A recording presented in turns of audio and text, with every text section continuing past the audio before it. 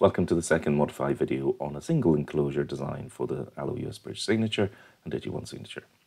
In the last video, I covered listening tests of the Allo combination with both a low noise linear power supply and a lithium ion battery pack.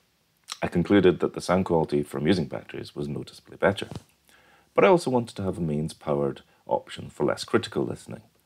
So I decided to incorporate both options in a single integrated enclosure along with the two Allo boards. As I've mentioned before, I don't like the general Raspberry Pi scene of lots of little boxes with cables to plug and unplug. This video is going to concentrate on the design stage of that box. Here we go. By the way, I'm calling this box the Sigi. To be honest, I quite like the simplicity of the transparent acrylic case from Allo. But you can only fit a Raspberry Pi and the DigiOne signature in it. There's no space for an internal power supply or batteries. In any case, it just wouldn't look right in a high-end system. For the USBridge signature, Allo offer an aluminium enclosure. This looks better, but it still has a sense of a basic computer product about it, rather than a high-end audio component. For the last few years I've been occasionally tinkering with a music streamer build based around a generic Chinese DAC uh, and an ITX computer board. This is housed in an old Marantz CD player it works, and I had improved it from stock with some mods, but I never completed it because the sound quality, although adequate for mid-fi applications, can never come close to the quality I had from my main system sources. It was when I was looking around for an alternative approach that I stumbled across and heard good things about Allo. Combining these two signature products with a good external DAC turned out to be a great source sonically. Now I could upcycle any old hi-fi component to fit the Allo board set with power options of my choosing, but I thought why not design something a little different. I also felt, given the growing popularity of these boards, that others may also be interested in a solution uh, with better aesthetics. About three years ago, I did a cosmetic upgrade to my DIY preamp using a high quality matte finish acrylic, which I laser cut and engraved that worked very well. So with that experience and the inspiration just mentioned, I put pencil to paper initially to sketch out potential solutions. I considered a full width unit to match my the preamp. In the end, I settled on a half width chassis design, so 215 millimeters wide, uh, eight, about eight and a half inches. With some detailed measurements and referencing datasheets, I took my sketches and started building a 3D model of the enclosure. A model allows you to get a good idea of the finished article, hone your design, and avoid wasting materials. I use the FreeCAD parametric modeler uh, because it's free, uh, and I've used it before. Uh, that said, uh, I did have to bring myself up to speed with it again, but it didn't take long. You could draw out the various parts using a simple 2D CAD package like LibreCAD or a vector graphics tool like Inkscape. The 3D modeler allows you to see how all your parts will fit together though. I'll put links in the description below for each of these packages. They're available for multiple platforms, including Windows, Linux, and Mac. There are many more available, but these are the ones I typically use. There are commercial software package alternatives to these open source ones available, uh, but they can be costly, uh, particularly for modeling. I don't think the average DIYer or small business could stump up the license cost for SolidWorks or PTC Creo, for example. They may not be as polished, but there are some perfectly adequate open source packages these days. Getting back to the point, I envisage the, the Sigi to have the build simplicity of the basic Allo acrylic case, but with the looks of a high-end audio component.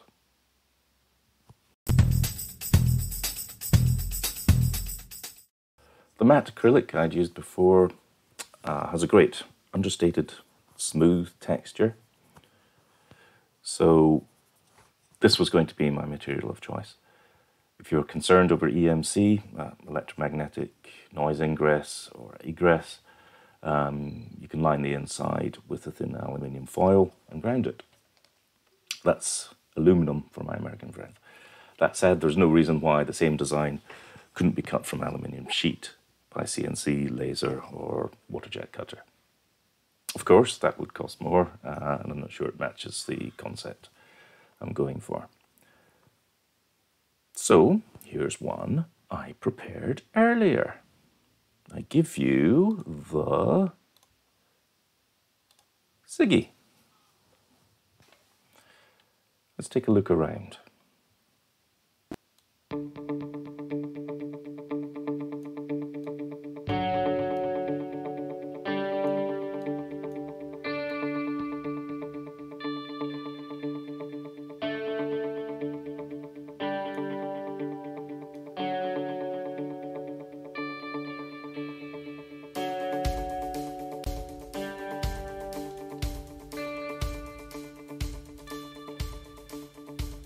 It's useful to have parts uh, in different colours to see how they interact as you're building the model. Let's give it the black finish.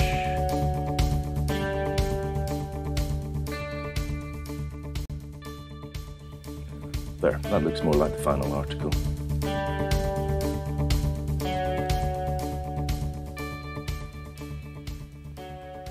On the back, in the rear we have all the connectors exposed. Uh, on the USBridge. So we've got holes here for the dirty power, HDMI or USB DAC and Ethernet. And then holes up above for the DigiOne signatures to SPDIF outputs, the coax, coaxial on RCA and on BNC connectors. We gave these cutouts reasonable tolerance, which should allow for any small variation in manufacturing of the PCBs. Over on the right, here there's a cutout for an ICE mains power inlet. I chose that because in my case I was fitting a linear power supply internally. There's no reason not to produce rear panels with alternate clean power input cutouts.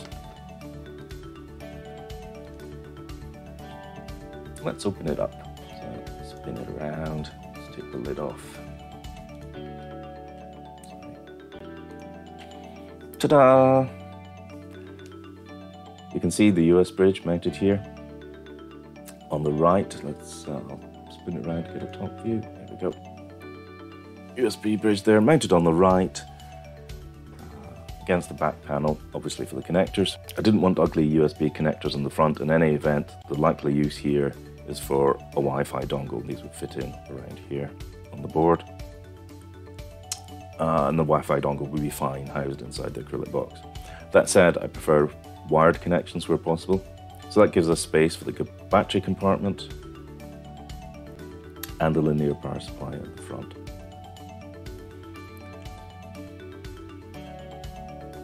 On top of the USBridge here is the dirty card board of the pair that is the DigiOne signature and the clean board for that is on the top. All the rear panel cutouts line up with the positions on the boards, but as I said, I've given them a generous tolerance just in case. Power supply on the left.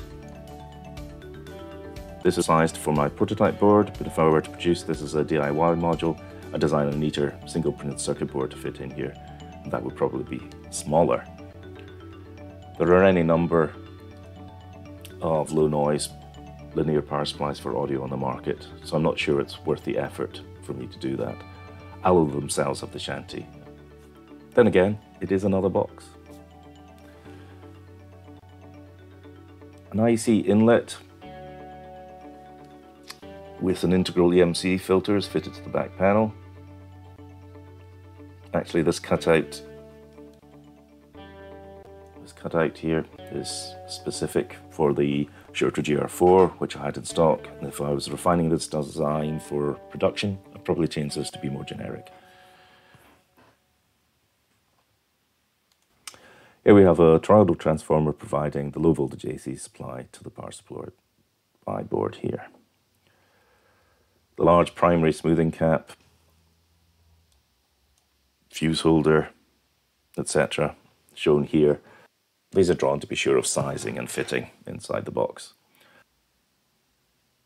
Along the back of the power supply is this heatsink made of aluminium.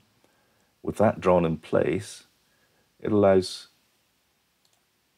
allows me to position the air vents underneath to allow adequate flow over that heatsink.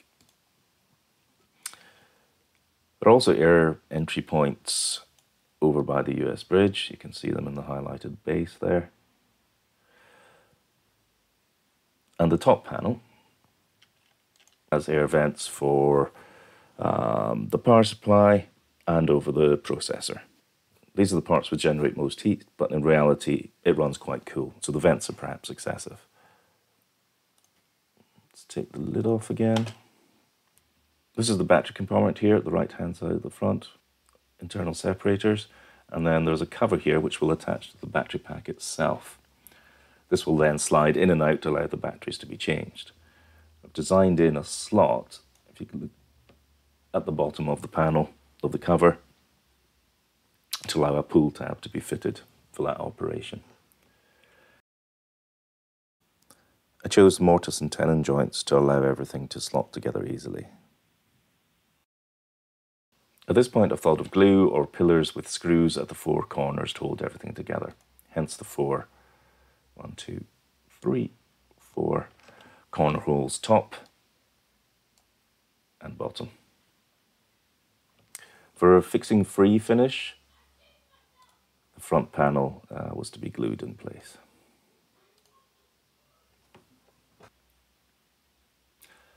That's the design of the Sigi cupboard. In the next video, I'll talk about producing the parts. Thanks for watching. If you found this useful or enjoyed it, uh, please click the thumbs up. Um, and if this is the sort of thing that interests you, you maybe like my more realistic value-led approach to high-end audio, or you're interested in anything audiophile related uh, or related to hi-fi upgrades and upcycling, uh, please subscribe to the channel and click on the notification bell to be kept up to date as I post new content. Meanwhile, stay safe and I'll see you next time. Bye.